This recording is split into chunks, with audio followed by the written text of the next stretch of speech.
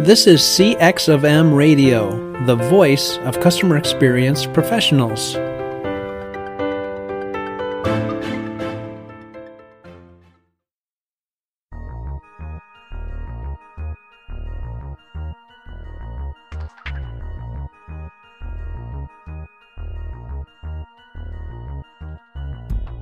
Welcome, everyone. My name is Darren Hood. This is the inaugural episode of the World of UX. I'm going to be your host for the podcast, and I'm excited and honored to spend time speaking to you on a weekly basis to help provide insights and answer questions about all things user experience. Through these podcasts, it will be my goal to cover any and all topics that we could possibly imagine on this subject.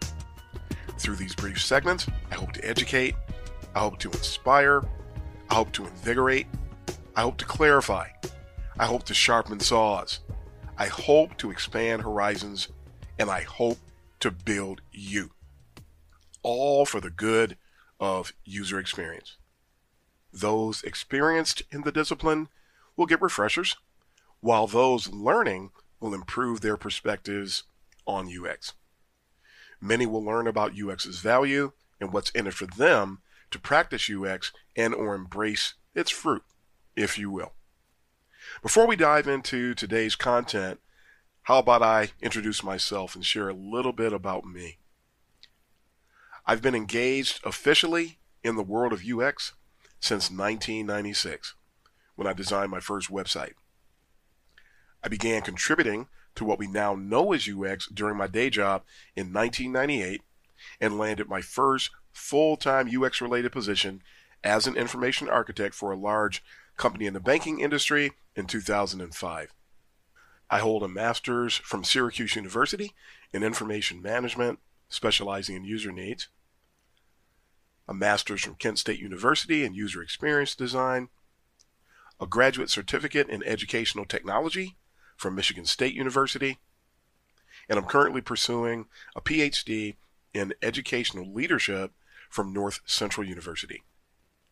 I also serve as an adjunct professor at Kent State University for that same UX Design Master's program that I graduated from and located in Kent, Ohio.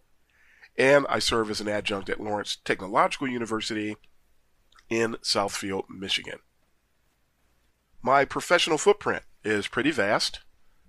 It includes working for or with such companies as Ford Motor Company, General Motors, Bosch, Ryder, United Shore, Quicken Loans, Fathead, OnStar, Cengage Learning, National Geographic Learning, IBM, Unisys, Covisint, Jiffy Lube, Duracell, and Caterpillar, as well as such digital design powerhouses as Digitas LBI, which is part of the Publicis Group, Global Team Blue, formerly known as Team Detroit, and Wunderman, which is part of the WPP group of agencies, and MRM McCann, which is part of the Interpublic Group.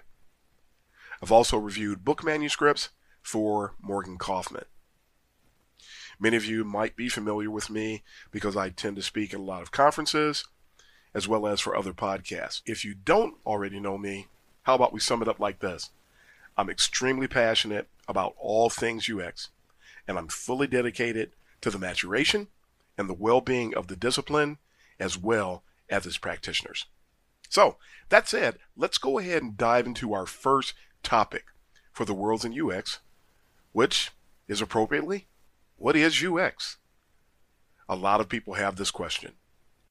What would you say if I told you that there's a discipline where you could invest a dollar, and for every dollar that you invest, you get a return on that investment of $100? How about $240 or $250? What would you say if I told you that there's a discipline where your KPIs can be improved by up to 83%.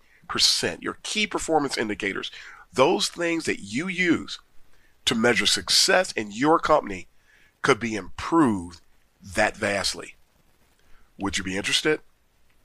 Would you want to establish a group in your company that could bring this discipline in and get these things to work so that you can start to see these benefits for your organization?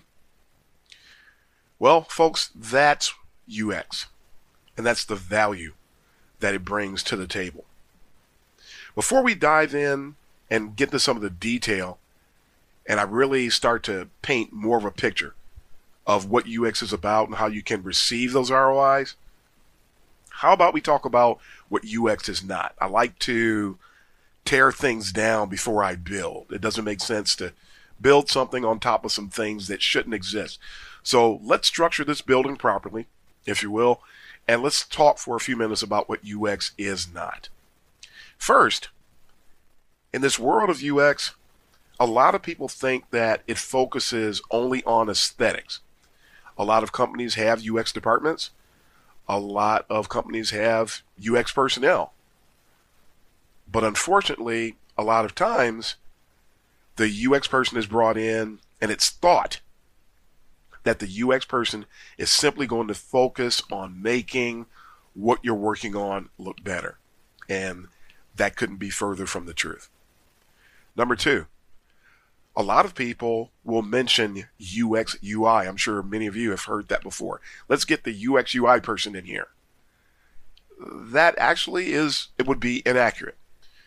UX is not UI. UI is a subset of UX, as you're going to learn over the course of these podcasts. It's a subset, but it's not UX. And you're going to find that UX is a broader operation. Number three, UX is not just one thing. A lot of times people will will say, well, let's just get some UX involved on this or let's get some UX applied to it without really having the knowledge of what UX is. And uh, on a future podcast, I'm going to spend some time talking about what I call the four pillars. There are four major pillars associated with UX. That's usability and heuristics, information architecture, UX research, and there's up to 96 different ways to conduct research, 96 different methods and methodologies. And then there's interaction and interface design. And within that interaction and interface design is where UI lives. The UX side of things, when it comes to the user interface, is about how it's used, making sure it's easy to use as possible, that everything's following the appropriate best practices. But UX is not UI, and it's not just one thing. It is a culmination of several disciplines and methods and methodologies. But we'll talk about that again a little bit. UX is not design thinking. In 2020, a lot of companies have engaged in design thinking, and the belief is that they're engaging in UX. When the truth is that design thinking is simply, even going all the way back to its inception, was about simply getting stakeholders involved in a collaborative exercise to try to get everyone to think more about the user. It was done in an attempt to make the design process more user centered as well as making it more of a collective and a collaborative work and not just the designers only. But the bottom line is that once you get that information from people, which is what we were doing before design thinking became popular anyway, get input from the subject matter experts, and then still let the designers go and do the job. That's actually the better way to do things. We do need input from those subject matter experts. We wouldn't get anywhere without them. But we just need to understand that UX is not design thinking. And truth be told, design thinking is not UX. It's just a tool that we can use, but it must be used properly. Next, UX is not UX if it doesn't include insights from actual users. The users put the U in UX, if you will. It may sound corny, but it's true. If you attempt to design without input from users, you're going to fall short. If you attempt to design without finding out what their pain points are, or striving to obtain understanding of their mental models, you're going to fall short.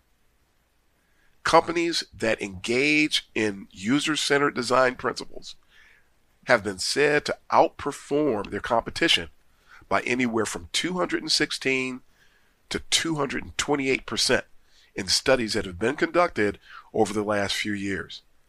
That is a lot of profit, if you will. And it's because, again, those principles are in place because UX is being practiced in a proper way.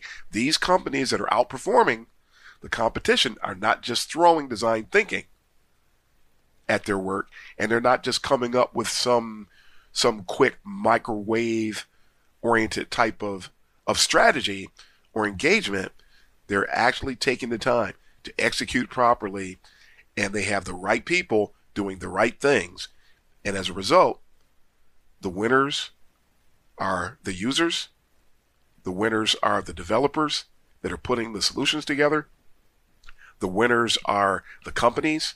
The winners are the stakeholders. And it's all because they embrace the principles and they went forward in the right manner. Lastly, UX is not limited to digital products. We need to know and understand this. It's not just websites. UX is not limited to impacting your mobile applications, your tablet experiences. UX can be applied to hardware as well as software or web oriented solutions. So, again, this is what UX is not. It doesn't just focus on aesthetics, it's not UI, it's not just one thing, it's several things. It's not design thinking, nor is design thinking UX. And UX is not UX if it doesn't include insights from actual users. And lastly, UX is not limited to digital products in its application. So that said, what is UX? Now that we've pulled up all the weeds and we've cleaned out the area where we want to erect this building, what exactly is UX? So there are three definitions, three mindsets that I'd like to share with you today in defining this. Number one, UX is an application of several methods and methodologies, as we've been saying a little bit already, that are geared at optimizing ease of use. There's your, your keyword ease of use for different types of solutions. So, UX in its simplest form is about ease of use. That, however, Uh, if you focus on that only and just look at that, you still might fall short. So, definition number two will provide a little bit more color. I want you to picture a Venn diagram. And in this Venn diagram, there are three segments. The first one is user needs. The second one is the business needs. And the third one is constraints, not just technological constraints. There might be political constraints. There might be other types of constraints that come into play. UX can be thought of as that vehicle, that discipline or set of disciplines that a UX professional will employ to find the sweet spot in that Venn diagram between the user goals, the business goals, and the various types of constraints. That's what we labor to do. The user experience professional brings a certain degree of prowess, skill, and knowledge to the table. The stakeholders, the business owners, different people involved in that arena are going to bring a set of knowledge from the business side of things and help to keep the ship righted, if you will, by keeping that information at the forefront, listed with the requirements. And then you have your constraints. And constraints could be any one of a number of, of, of categories if you all come from any one of a number of categories. But eventually, as you navigate across all three, you find a sweet spot. And so UX is this is this discipline that's directing traffic and helping us to accomplish what we need to accomplish from a sense of realism as well as a sense of practicality. So that's number two. Number three, and this is a big one because this one is where there's a lot of discrepancy with regard to people's perceptions about UX. UX is a science and the art of designing a product, a service, and or an experience with a brand from end to end. From the beginning, when a person, a customer, a client, a user is exposed to your brand from that moment all the way through the use of the solution and then beyond that into the support funnel where they may need help periodically.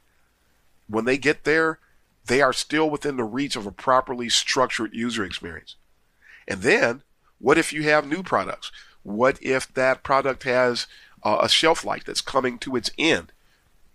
When that happens, you want to make sure that the ability to get that person back into the purchasing funnel or to upgrade, maybe they need to be ups, upsold on something, UX will help facilitate that. People think it's just sales. They think it's just customer support. They think it's just someone else that has some type of relationship management uh, a task or responsibility. UX touches all of these things. Some companies allow it to, some companies don't. But but truth is that UX touches all these things. So again, UX is this element that brings value through its methods and its methodologies. It tries to find a sweet spot in the Venn diagram, and it consists of science and art. The reason I mentioned the discrepancy is because people focus on the art, and in focusing on the art, they lose the fact or just do not know or understand that there's a science behind it. And so that's critically important. When all of this is done, UX provides the following benefits. It optimizes the ease of use, as we mentioned earlier, for products and services. It fosters better client loyalty and goodwill. It provides companies with competitive advantage, or it improves it. It reduces costs associated with development and customer support. And then lastly, yes, it improves conversion rates. I'd like to, as we get ready to wrap up here, remind you of a company I'll name drop this company, and you likely have all heard of it. It's called Airbnb. According to the history of Airbnb, that company was really on its way out. They were not doing well. They were suffering dramatically in their in their operation. They finally took time to look at things from a user perspective and the company grew astronomically and you know where Airbnb is today. That company was saved. They were put on everyone's roadmaps. They were put in a position to succeed. They innovated. They they paid attention to what the user needs were.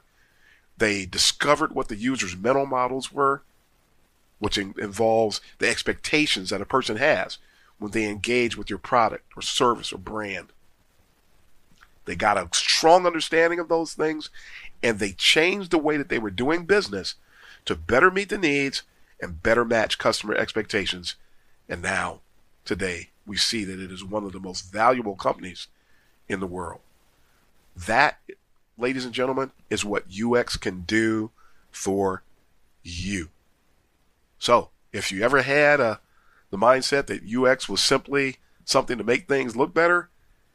And as one person put it once in describing UX, they figured that doing UX is like tying shoes.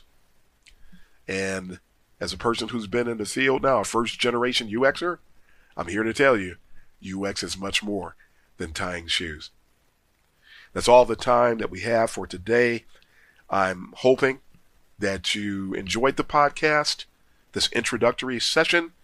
Uh, thank you for joining me on today, and I'm hoping that we'll be able to share some things that will enlighten you and sharpen your saw and help you to understand the value and the purpose, the structure, and the function of this thing that we call UX, user experience. It's a wonderful vehicle, a wonderful tool that, uh, when done correctly, has a lot of great benefits in store for its practitioners and for those who adopt it. So, again, I'm Darren Hood, your host for the world of UX. Thanks for joining me again on today, and I hope to e you next time on the world of UX.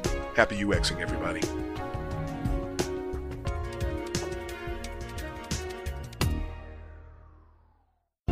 Thanks for joining us for this session of CX of M Radio. Be sure to rate, review, and subscribe to the show and visit cxofm.org for more resources.